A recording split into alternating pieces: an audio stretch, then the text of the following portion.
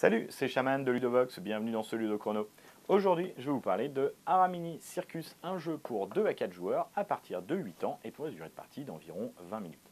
Alors, dans Aramini Circus, nous euh, gérons un cirque ambulant qui est sur le départ et nous avons chacun une petite locomotive et nous allons devoir essayer de charger le plus rapidement possible des animaux dans des wagons pour partir.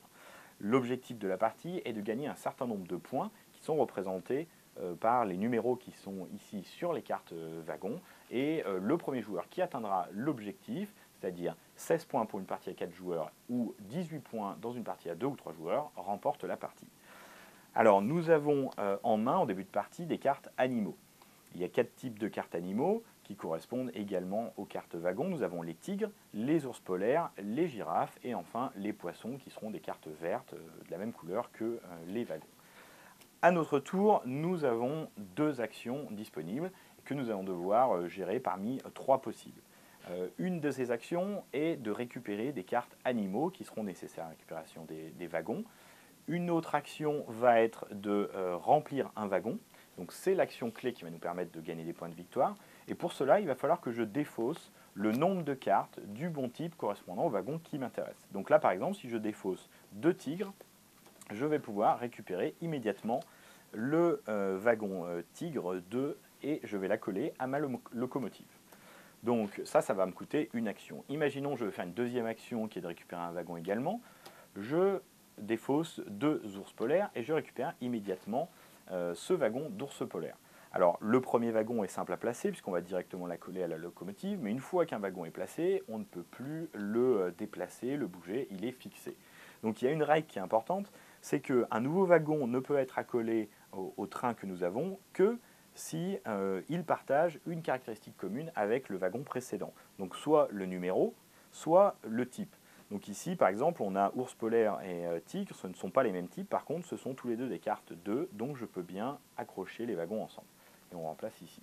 Maintenant, imaginons ultérieurement dans la partie, le tour revient à moi, et là, en action, je choisis de payer une girafe pour récupérer ce wagon de girafe 1.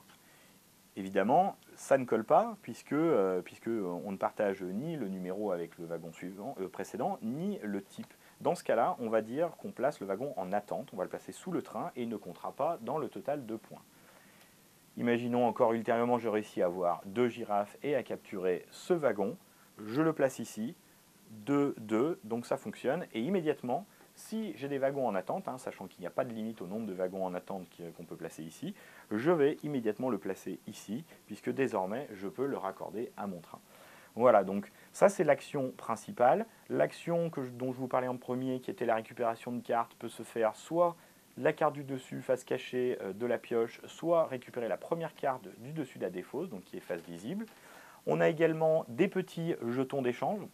Donc il existe quatre jetons d'échange qui sont distribués entre les joueurs en début de partie, euh, qui vont nous permettre d'échanger deux cartes d'un certain type d'animal contre n'importe euh, n'importe quelle une carte d'un autre type au moment d'acheter un wagon.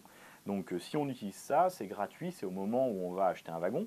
Par contre, comme action qui, va nous coûter, qui va nous coûter un point d'action à notre tour, on peut choisir d'échanger un jeton d'action avec un autre joueur. Donc par exemple, si j'ai deux poissons qui ne me servent à rien dans la main et que, euh, et que je n'ai pas ce jeton-là, je peux choisir comme action de donner mon jeton actuel à ce joueur et de récupérer le jeton qui permet de faire des échanges de poissons. Voilà, la dernière petite euh, chose qui peut être intéressante à, vous dire, c'est qu'on a un jeton Monsieur Loyal qui va tourner dans le sens inverse du tour de jeu pendant la partie. Et ce jeton va vous octroyer une action supplémentaire si vous l'avez au début de votre tour. Voilà, donc vous savez tout sur Arabini Circus. Maintenant, à vous de jouer